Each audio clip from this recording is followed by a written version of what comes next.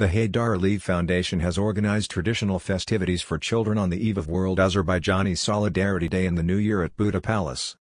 Azerbaijan's first vice president, president of the Heydar Aliyev Foundation Mehriban Aliyeva, vice president of the foundation Leyla Aliyeva and Arzu Aliyeva joined the event.